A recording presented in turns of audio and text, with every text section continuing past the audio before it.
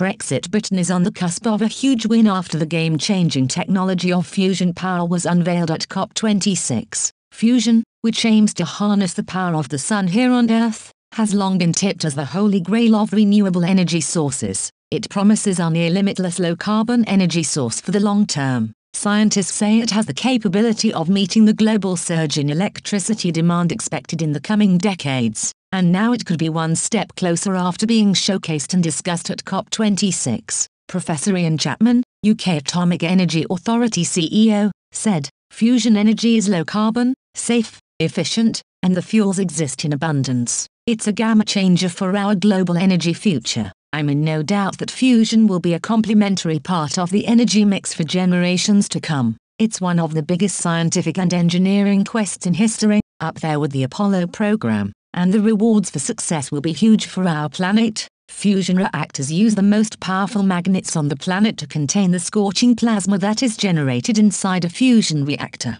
The reactors work by combining light atoms of hydrogen into heavier atoms of helium. The same process of fusion that occurs at the center of the Sun A race is now on to develop the world's first commercially viable fusion reactor in the UK government has invested a staggering £222 million towards this ambitious initiative. It comes after the government announced the spherical tokamak for energy production, STEP. Not only does STEP aim to generate net electricity, but the site will also demonstrate how fusion plants are maintained and sustained. The government believes the project will create thousands of high-skilled jobs during the construction phase as well as during operation. It has now selected five sites for new fusion plants. These include Moorside in Cumbria, Severn Edge in Gloucestershire, Ardeer in North Ayrshire, Ratcliffe on Soar in Nottinghamshire and Goole in Yorkshire. The UK is already home to the world's biggest and most advanced fusion reactor, the experimental Joint European Torus or JET in Oxfordshire.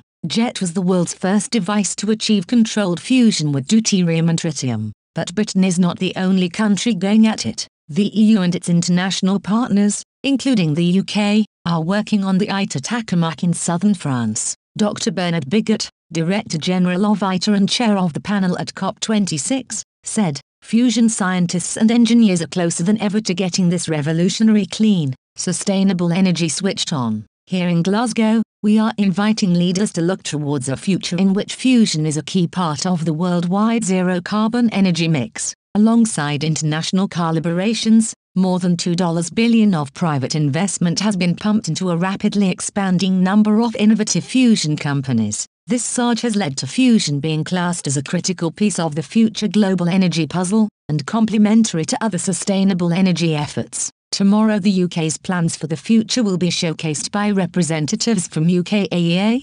University of Manchester, Max Planck Institute and Energy for the Common Good.